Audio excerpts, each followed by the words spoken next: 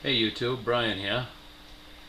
Just want to do a follow-up on my recent purchase, uh, 36 gallon bow front.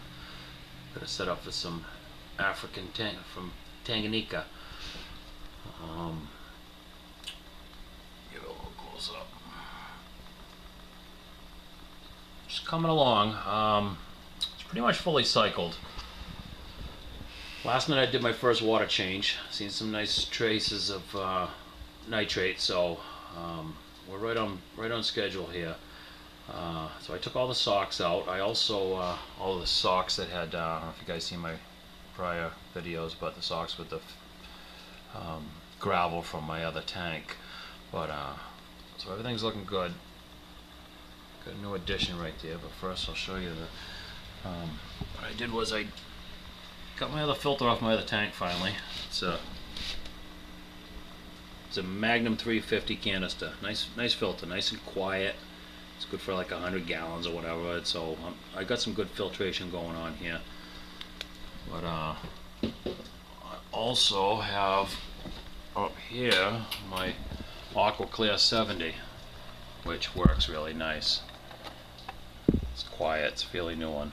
Um, plenty of room to put some media and whatnot but ended up changing out the top. I got this glass one glass top instead of the plastic one that come with it. Uh, this one here I was able to I got this probably a couple weeks ago but then last night I purchased this new light right here. It's pretty cool.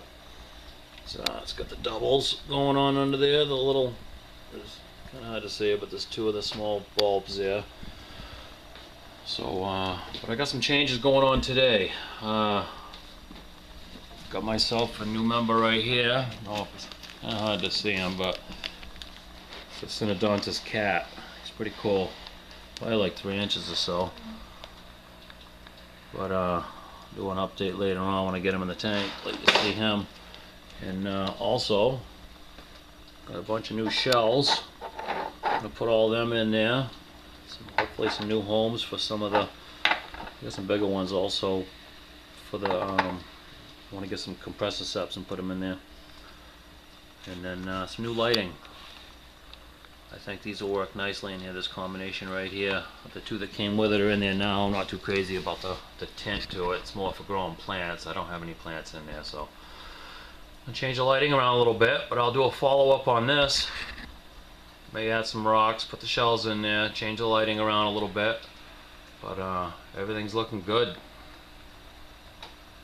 Change the fish around, but for right now, they're all they're all Tanganyikan cichlids for right now.